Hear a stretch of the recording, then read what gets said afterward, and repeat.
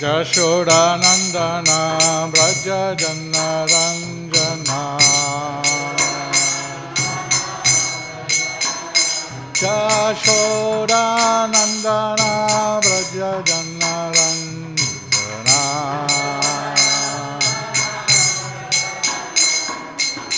Jamunatira Jamunatira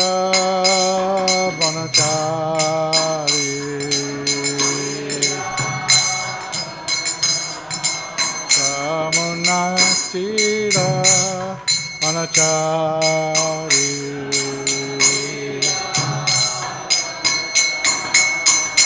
Jai Radha Madhava Kunja Vihari.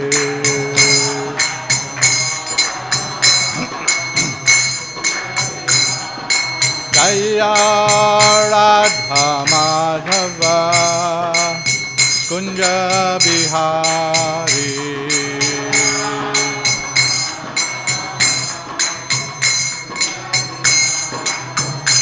गोपी जन्ना वल्लभा गिरिवरदारी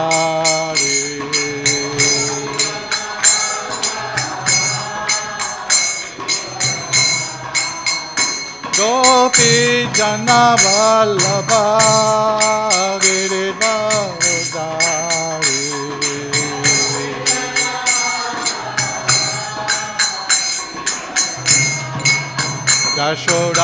यशोदानन्दना भज जनरञ्जना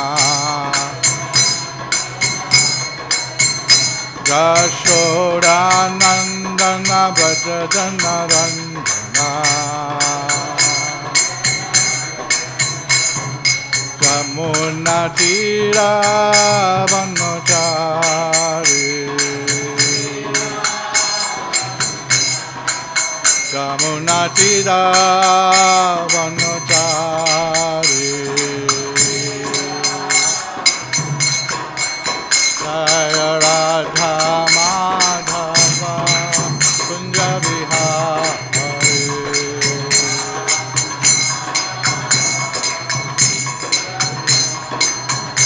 your.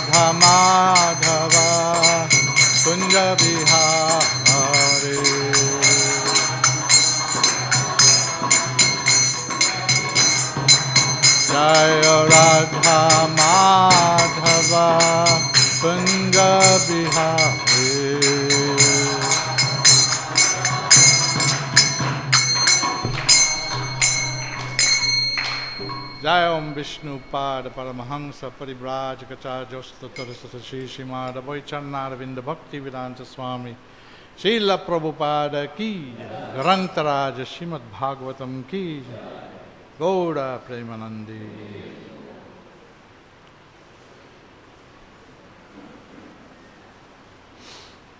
ओम नमो भगवते वासुदेवाय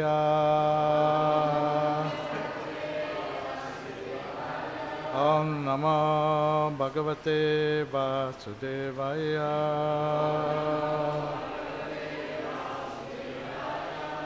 ॐ नमो भगवते वासुदेवाय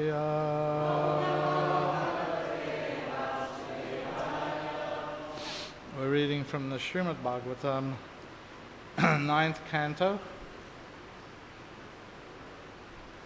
seventh canto, chapter nine. 9 Canto chapter 2. Is this the verse he gave me?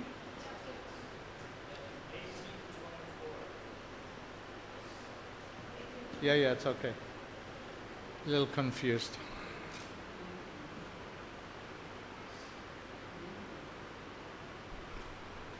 Which is on the board? Which one?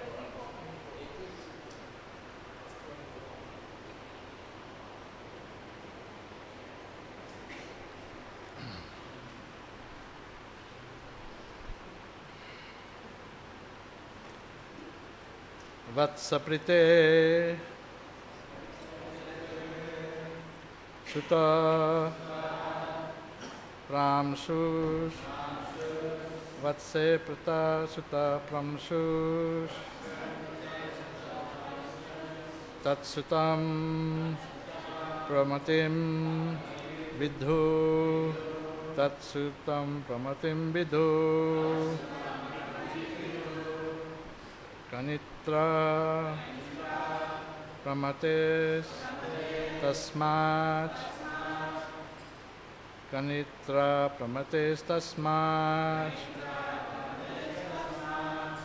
चक्षुषो तथा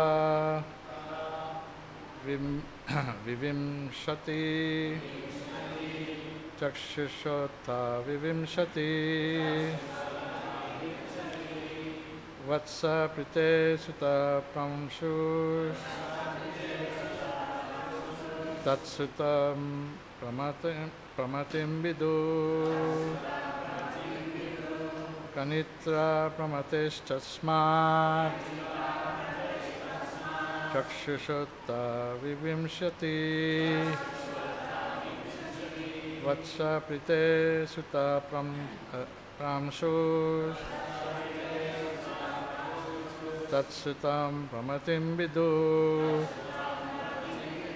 गणित्रा प्रमतिस्तस्मात्। चक्षुषोत्थ Vivinshati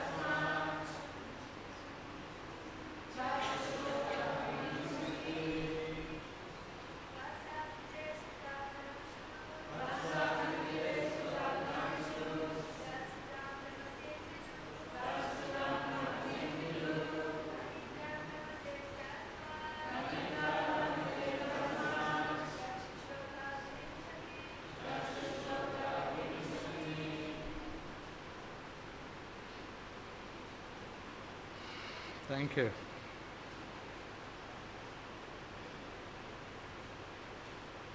Um, well, the word for word starts with the previous verse. I'm just going to read the translation and purport by Srila Prabhupada. Dista had a son by the name of Nabhaga. This Nabhaga, who was different from the Nabhaga described later, became a Vaishya by occupational duty. The son of Nabhaga was known as uh, Bhalandan. The son of Bhalandan was Vatsapriti, and his son was Pramsu. Pramsu's son was Pramati. Pramati's son was Kanitra. Kanitra's son was Chakshush, and his son was Vimim, uh, Vivimshati. Purport. From Manu, one of the sons became a Kshatriya, another a Brahman, and another a Vaishya. This confirms the statement by Narad Muni, Yasha Yal Lakshanam Proktam Pungsho Varna Viviyan Jakam. Bhagavatam 7 11 35. One should always remember that Brahmanas, Kshatriyas, and Vaishyas should never be regarded as members of a caste by birth. A Brahmana may be changed into a Kshatriya, and a Kshatriya into a Brahmana. Similarly, a Brahmana or Kshatriya may be changed into a Vaishya, and a Vaishya into a Brahmana or Kshatriya. This is confirmed in Bhagavad Gita Chaturvanam Maya Shristam Guna Karma Vibhagasha. So, one is a Brahmana, Kshatriya, or Vaishya, never by birth, but by quality. There is a great need of Brahmanas. Therefore, in the Krishna consciousness movement, we are trying to train some brahmanas to guide human society. Because at present, there is a scarcity of brahmanas. The brain of human society is lost because practically everyone is a Sudra, no one at the present moment can guide the members of society to the proper path by which to achieve the perfection of life. Om Ajnanatimirandasya Gyananjana Shalakaya Chakshushummilitam Yena Tasmai Sri Gurave Namaha श्रीचैतन्यमनोभीष्टं स्थापितं येन भूतले स्वयं रूपकदामायं ददाति स्वापन्दन्तिकम्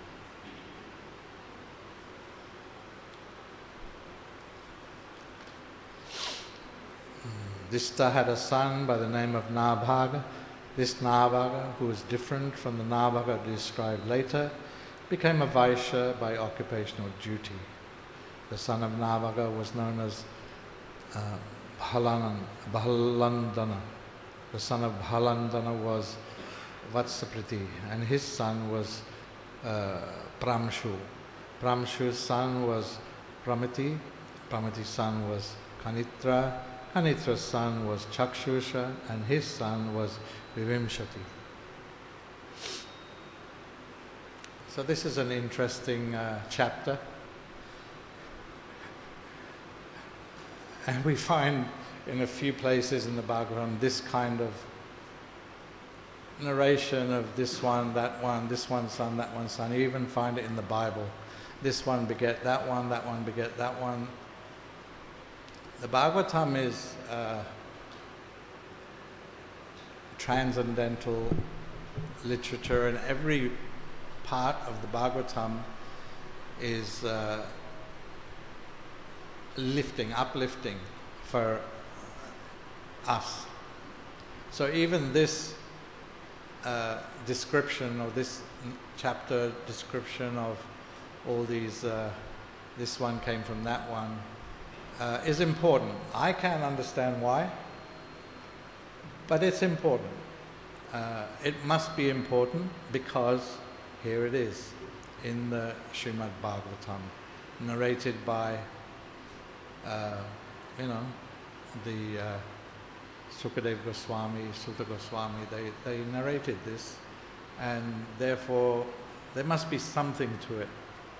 Um, of course, it sets the scene also because as you go through these dynasties, these, these lists of uh, uh, uh, different uh, personalities, there's always a, uh, a diamond which uh, manifests in that dynasty, and then we hear about that personality and his glories and what he did and his service. So, you know, uh, it's important somehow or other. So here, Prabhupada is making the point because we see from uh, this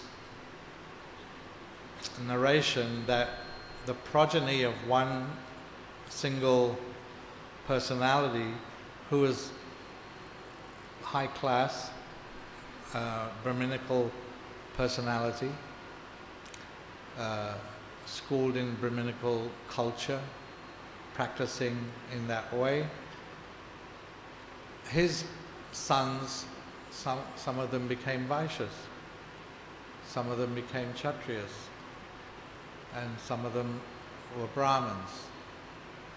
So, this idea that's somewhat prevalent. Uh, that you know you take the caste of your parents is not supported by the scriptures, by the Bhagavatam. In fact, there's no caste. It's not caste. It's uh, Varna. And what is the Varna according to? Qualities. Huh? As Prabhupada has uh, quoted from the Gita, Krishna himself says that he created uh, this system. Chaturvana Maya system, Maya system. He created it. Guna Karma Vibhagasha. But the, the vibhag, the, the separation of the categories, is made by guna and karma. Guna karma vibhagasha. So it's not who your father was. It's not who your father was. And we hear the example of the High Court judge. You know, the High Court judge, he's sitting on the big bench and he has children, but his children, they're not necessarily High Court judges. They could become. If they qualify themselves, they go through the process, they qualify themselves, they could become, but it's not automatic. It's not automatic that they uh, can take up a seat on the bench of the High Court. Similarly, you may be born of a very uh, Brahminical or Kshatriya or whatever uh, parent, father, mother, but it doesn't mean that you're automatically um, in that category. You have to qualify yourself by your, uh, and it comes from your particular um,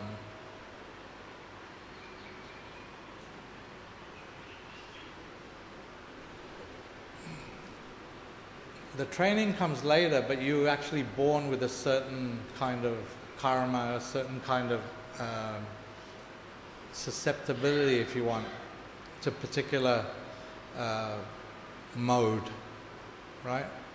So the, the Brahmins are in the mode of goodness, it's said, right? So the Brahmanas are in the mode of goodness. So you might be born into the mode of goodness, but unless that's maintained, and it can be by training, and, and it, it, it's, it's, it can happen. It's, it's not necessary that you have to go in a different direction, right? But it's not guaranteed, and, it, and it's depending on you and your uh, actions and reactions. So Kshatriyas also mixture. Hmm? They're uh, predominantly uh, Raja, Rajasic. They're called Rajas, right? Rajas, the kings. The Rajasic. And they have some goodness in there too, the Acharyas tell us. And then Vaishyas, mixture of uh, passion and ignorance. And then Sudras, mostly in the mode of ignorance, it's said. And in this age of Kali, as Prabhupada points out, we're all born into darkness of ignorance. We're all Sudras. We're all born in that mode. Anyone disagree with that? We can, we can, if we're a little open minded about our own situation, we can agree that we don't really have the qualities of the people in goodness that we read about. We read about them, don't we? We study the scriptures and we see these personalities and we see their uh, behavior, and we don't necessarily come to that, that level. But we're devotees, or we're trying to be devotees. So we hear also from the scriptures that devotees are beyond that. Uh, they're beyond goodness, passion, ignorance. They're beyond the Varna uh, system. They're beyond Brahmins. They're beyond Kshatriyas. So, how to reconcile that? We hear it, but is it a, is it, well, we hear it, it, I shouldn't say is it a fact, but how is it working for us? How's it working for us? Are we actually uh, beyond those, um, beyond Brahman, beyond these, these uh, systems, which, which Krishna says he, he uh, produced, he made them. He made everything. Om Madhavo, Madhavo, Vachi Madhavo, Madhavo, Riddhi, Shmaranti Sadhavak Sarve, Sarvakareshu Madhavam. Everything. What to speak of the, these four, the, uh, the Varnashram system, everything comes from Madhava, Krishna.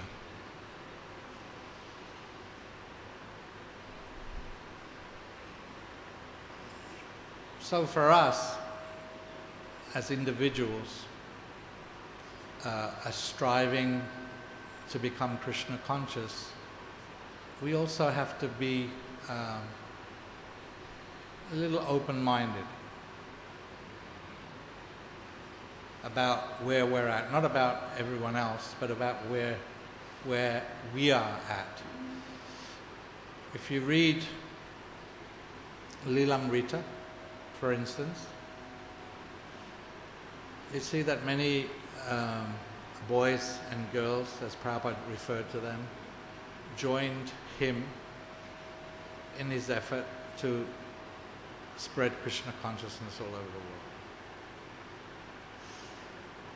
Now, he engaged them according to what was necessary for what he wanted to achieve. So you might have someone who is very um,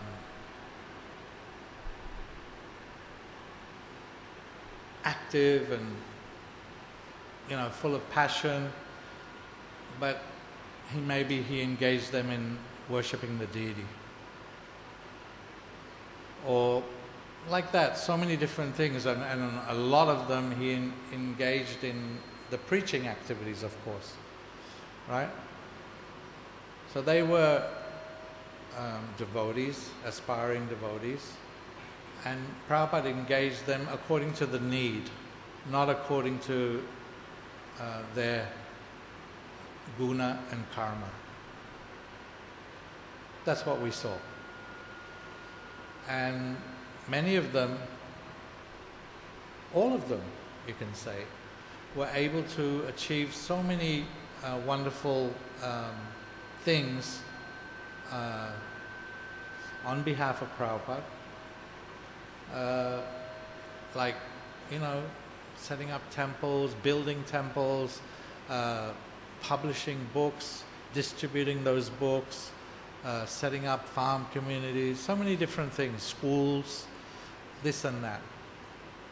All by the, the uh, you know, Krishna says that he preserves what you have and he carries what you lack. So for the devotee, it's kind of a balancing act. That's, this is my opinion. I don't know the real, what the facts and, of the matter are. But from my perspective, from my experience, and this is what I think, is that we can do anything in the Krishna consciousness mission. Not for ourselves, but in the mission of Srila Prabhupada. We can do anything. It doesn't matter what our uh, so called qualities and, and uh, you know, uh, past. But we have to uh, do it first under the, under the authority of, of someone, some, something in the, in the service of Prabhupada. Uh, not on our own uh, speculation, one. And two, um,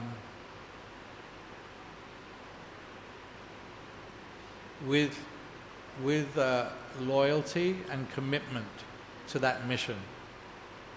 And in that case, we can do anything. That's my view. Uh, but we see that unless we are fully absorbed in our practice, our practice of sadhana, then the modes can take over.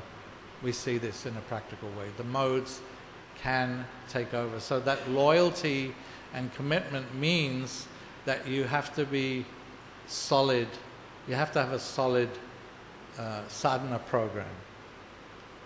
Otherwise, it doesn't work. It doesn't work. You know, and that, that sadhana program is what protects us uh, from those modes and allows us to act as a pujari if that's what's needed, although we're not necessarily so qualified in that, in that area, or as a administrator, run a temple because it's, that's what's needed. Uh, we can do it. We can do it. And Krishna will uh, preserve what we have and carry what we lack. And that means we have to also uh, understand what we lack and, and go into that, go into those areas and, and educate ourselves. Krishna will help, but it's not that you're just going to wave some wand and you can do it. You have to practice. You have to understand. You have to associate with those who know. Take take advice from those who who are um, practiced in that particular um, whatever it is that you lack. And if you can't do that, if you can't uh, take shelter of that, that, that sadhana, then you will face problems if, if you're trying to do something which is not according to your uh, particular karma, according to your particular qualities. So, yeah, that's that's what I, that's my view. on, on, on how it affects devotees, what, what Varnashram means to devotees. The ashram part is, a, is another.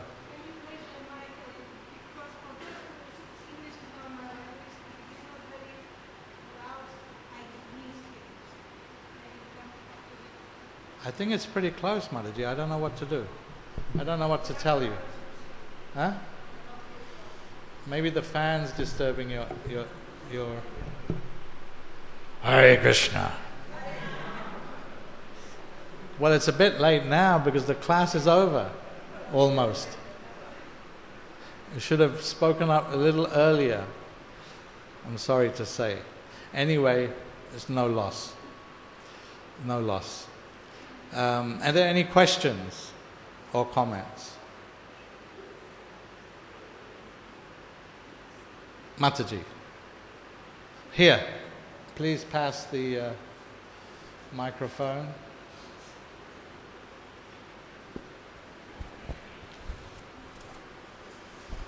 Hare Krishna, Hare Krishna, Krishna Krishna, Hare Hare, Hare Rama, Hare Rama, Rama Thank you. Rama, Hare Hare. for a very thoughtful class. Um, we know that Bhagwan and Bhakti are transcendental, and we have that verse where iron put into fire turns like fire. So we also know that uh, when the devotional service is performed, that what makes a devotee transcendental. But we also know that there are 49 different kinds of uh, mixed modes and performing devotional service also could be under the modes. So please expand or reconcile that. Thank you. Did you get that? Mataji, I didn't get the question. Okay, so the point is devotional service. I've, I've read several places that once one performs devotional service, that moment it's actually transcendental because we are dealing with bhakti, which is transcendental, and Bhagwan, which is transcendental. So naturally, when one performs devotional service, even if it is dancing in front of the deities, that is like part of pure devotional service. But we know that there are different modes. Uh, one performs devotional service in different modes. So can you explain the difference, whether if it is simply by coming in contact, it is transcendental, or it is valid that we are performing devotional service in different modes? Well, in general, my understanding is mostly, most of us, maybe not all of you, but most of us are performing what's called as Mishra Bhakti. That's mixed. That's devotional service mixed. Uh, the pure devotees of the Lord they are performing bhakti. We are attempting to perform bhakti. We are, we are uh, engaged in the process of purifying ourselves so that we can perform bhakti. Bhakti is not a, some cheap thing, although we sometimes take it cheaply. It's not cheap. It's, it's a direct uh, someone who's bhakti, who's engaged in bhakti, is on the same platform as the Supreme Personality of Godhead. He's not the same as, that's, I didn't say that, but he's on the same platform, Sat Chit Ananda, same platform. But he knows what his relationship is with that Lord, and therefore he is fully cognizant of that and he's performing bhakti. He's engaging with the Lord. Our position is, is slightly different. We're attempting. Since we're not pure, since our hearts are not pure and we're still covered uh, our bhakti is mishra, it's mixed. It's mixed with passion, ignorance, goodness, and uh, that's my understanding. So uh, you will come to that stage. We will come to that stage, and you know, adash, uh, what is it? Adash shraddha, uh, tata sadhu sangha, bhajana kriya. There's there's there's those levels that are described in that verse, which is not quite coming to me. Uh, until you reach prema. And prema bhakti is, is, is that bhakti that you mentioned in the beginning. And, but we're not on that level yet. We have to make our way through that. And, the, and why did the acharyas give us that? Those, they, gave, they, gave, they gave detailed, they give detailed uh, descriptions so that you can understand where you're at. It's a roadmap. They gave us the roadmap. So if we're sitting, if we want to go to London, but we're sitting in Mumbai, we can't say we're in London. We can only say we're on the way to London and we have the map and we're going. Does that make sense? Thank you. Very nice explanation. Anyone else? Mataji, take the mic. Take the mic. Hare, Hare Krishna. Can comment? If you go, if you go too near, it also becomes inaudible. You can't understand. So go. Hare Krishna. So there's the action and there's the consciousness behind the action. So it could seem that two people are doing the same service, but their consciousness can be different. Absolutely. That's the difference between. You see, last uh, few days ago was Bhadra Purnima. Bhadra Purnima. Bhadra Purnima is a very special because uh, we haven't talked about it much in the past, but this year uh, we we had a campaign, Bhadra Bhadra Purnima campaign, because in the Bhagavatam, uh, Sukadev Goswami describes that you know if you distribute, place a Bhagavatam on a golden throne and and distribute, or give it to someone or whatever, then you'll go back home, back to Godhead. And so our illustrious uh, Vaishya Shekhar Prabhu, our marketing and communications director, picked up on that and said, "Hey, why aren't we, why aren't we uh, talking about this? It's a, such a wonderful opportunity given to us by, by uh, in the Bhagavatam." So we made, we started to make a little campaign about it, and we started to uh, the Bhadra Purnima campaign. And as a result of that campaign, thousands of Srimad Bhagavatams were distributed in the last couple of weeks. There was a, maybe you could say a month, there was a lot of preparation involved. I mean, it was for the for the for us at the BBT. It was a kind of a revelation. So then, getting back to your point, you know, the consciousness behind that. We were selling books. So then you go to, you know, there's also uh, other publishers who are selling books, and they are doing it with a different consciousness. So that's the difference between a,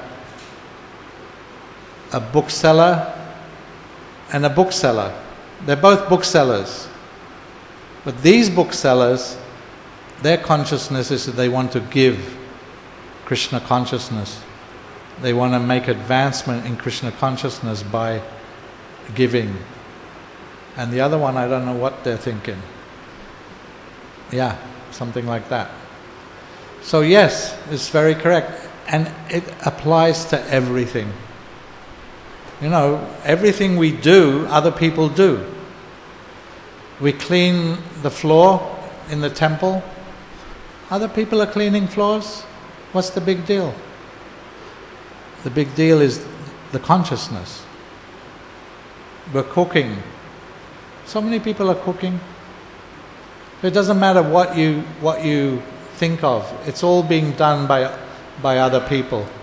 And it's also being done by us. Now, what is our consciousness? So we, we have to ensure that our consciousness, consciousness is Krishna conscious. Otherwise, it's no different than anyone else. Thank you all very much. All glories to Srila Prabhupada. Hare Krishna.